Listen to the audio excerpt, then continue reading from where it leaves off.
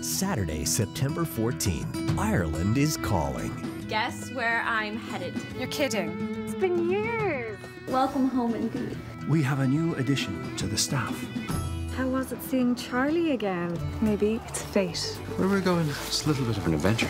Merritt Patterson and Jack Turner star Being back here, I've felt something again. in an all new original movie, Forever in My Heart. Premieres Saturday, September 14th at 9 on Hallmark Channel.